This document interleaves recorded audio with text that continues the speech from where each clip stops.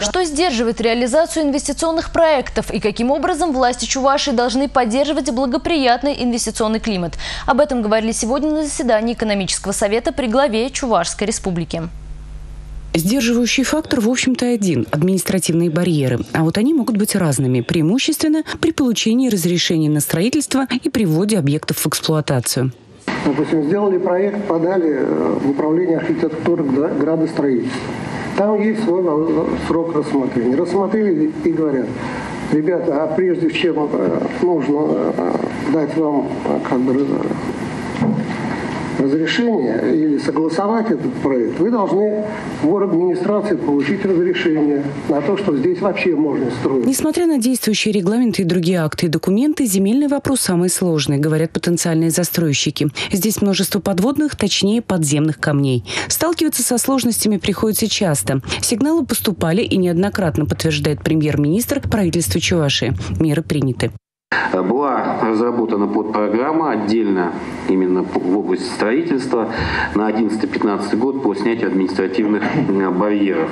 И в составе республиканской э, программы по снятию барьеров она сегодня э, действует. Мы эту работу начали в 2011 году на уровне Российской Федерации тоже уделялось э, большое внимание данному вопросу. И э, вы знаете, что в конце июля, 29 числа, была принята дорожная карта. Это вот в рамках развития э, инвестиционной деятельности.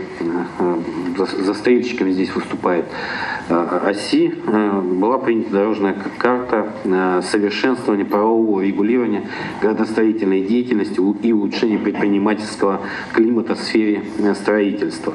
Дорожная карта устанавливает более короткие сроки прохождения согласительных процедур – до 56 дней. Кроме того, применение этой схемы позволит снизить стоимость будущего жилья на 20%.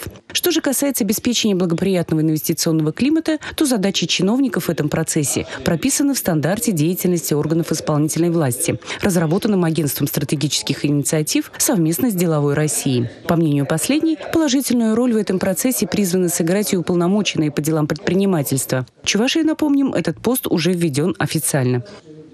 Глава республики призвал коллег и остальных участников процесса не ограничиваться декларациями и все прописанные меры применить на практике. Тогда можно будет анализировать результаты и вносить коррективы.